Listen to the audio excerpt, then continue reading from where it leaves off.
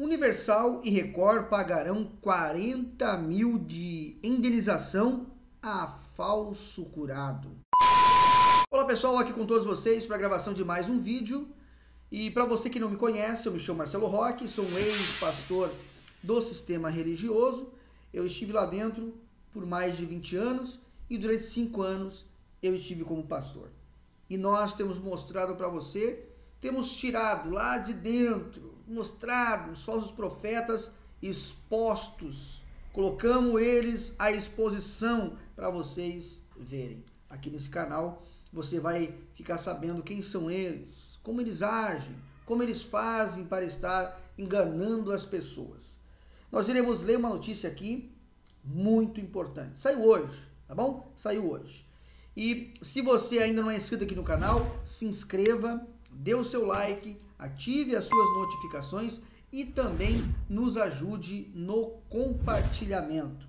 E eu quero que você também comente, tá bom? Comente aqui embaixo, aqui na aba de, de comentários. Eu quero que você comente o que você acha sobre esse assunto ou todos os assuntos que nós estivermos abordando aqui no canal.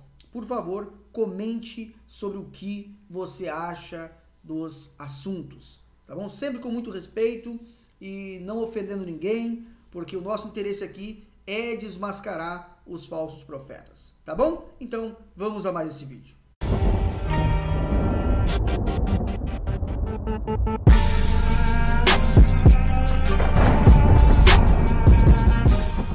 E lembrando você que ainda não me segue lá no Instagram, me siga lá no Instagram. Vai lá, arroba Marcelo Roque, tudo pela verdade. Me siga, me mande a mensagem se você quiser, que eu estarei te respondendo assim que possível. Tá bom? Eu vou deixar aqui embaixo o link da matéria para você estar é, lendo também, vendo essa matéria. Está lá no site direitonews.com.br. Universal e Record pagarão 40 mil em indenização a falso curado. Vamos ver o que será que isso quer dizer. Uh, a Igreja Universal do Reino de Deus deverá pagar 40 mil em indenização ao recepcionista RCA. Não é Renato Cardoso, não, é RCA. Uh, de 39 anos, após ele é, participar do programa Cura dos Vícios. Programa do, do Formigone, né? Formigoni, deve, não sei se foi ele o idealizador, mas ele que fazia aí o, o esse programa. E a reunião também, né? Uh, a Justiça de São Paulo também determinou que a Record, onde a atração, atração é exibida, será corresponsável pelo pagamento da indenização. Segundo o homem, usuário de cocaína ele foi abordado por dois pastores da igreja em 2018, que, aproveitando-se da sua fragilidade emocional, lhe induziram a participar do programa. As, as informações são do UOL. Eu sempre disse, sempre falei, aquilo ali é teatro puro, teatro puro. E eu não sei né? Se é teatro, não sei se é cocaína real, né? Mas se é cocaína real, se é maconha de verdade que tem ali, a polícia tem que ir em cima disso aí. Tem, que ir em cima dessas reuniões aí do que o Formigão fazia, né? Em seu relato, RCA alega que percebeu que o programa era uma fraude assim que subiu ao palco e que estava sendo usado como fantoche em um falso show com a finalidade de arrecadar dízimos. Na hora, ele ficou tão constrangido que fingiu que havia sido curado.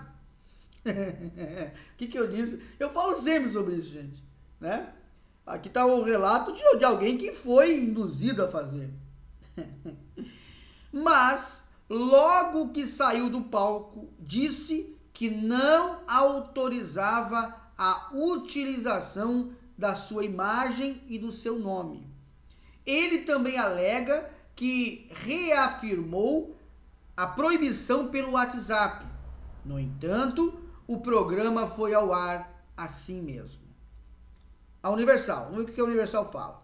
A defesa da Universal afirmou que não promete cura e que apenas disponibiliza ajuda espiritual ao dependente. Sim, você não, vocês não prometem cura, na verdade, vocês não prometem cura, mas depois da oração de três minutos, a pessoa era curada. E se a pessoa não ficasse curada, o formigão dizia o quê? Eu como a Bíblia. Tem prova sobre isso, gente. Uma cambada de desocupado. São muito, mas são muito sem vergonha. É claro que vão, vão, vão falar que não, que não promete cura. Vão falar que não promete. Mas nas propagandas é isso. Depois da oração, veja o que acontece depois da oração de três minutos. Aí o camarada, depois da oração de três minutos, ah, eu tenho nojo da bebida, ah, eu tenho nojo, ah, tira isso daqui, daqui que oh, oh, oh, eu tenho nojo, eu, tenho, eu não consigo. Quem? Pessoal, é só uma pessoa muito bitolada que vai acreditar nisso aí. É pessoa muito bitolada. Tá? Então, a gente sabe. Agora eles vão dizer que não promete cura e tal, é aquela coisa toda, né? Só ajuda espiritual. Tá bom. Tem vídeos, tem tudo na internet, é só, é só a justiça procurar. Só a justiça procurar, né? A cura da dependência química se trata de uma questão de fé. Independe da vontade da igreja. O, o atingimento do resultado almejado.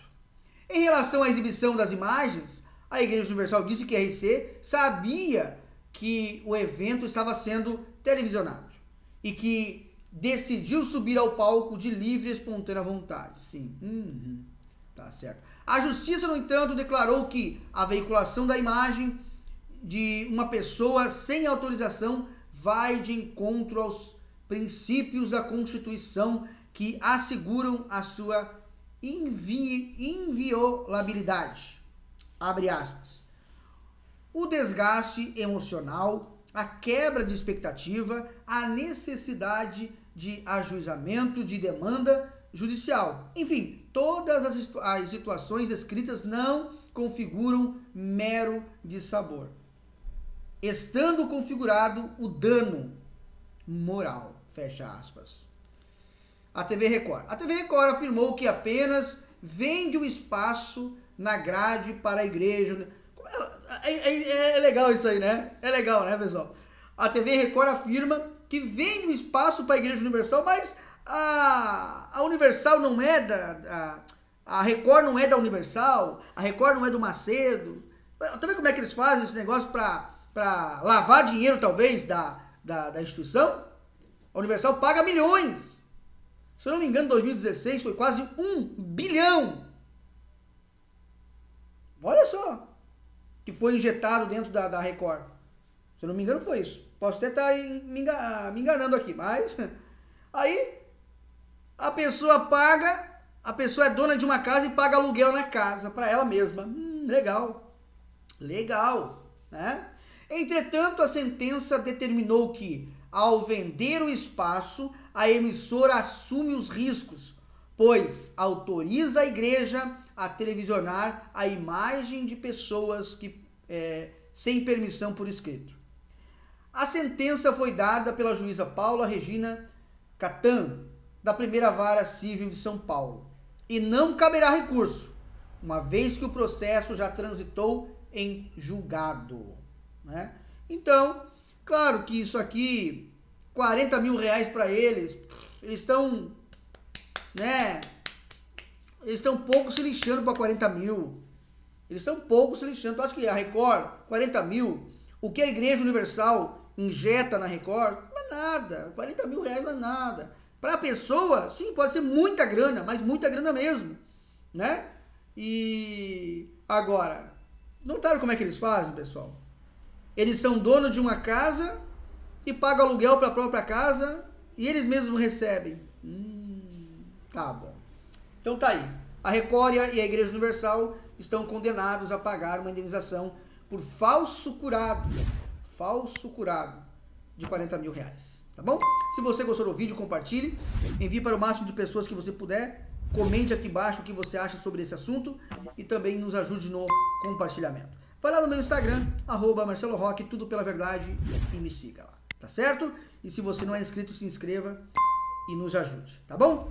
Até o próximo vídeo.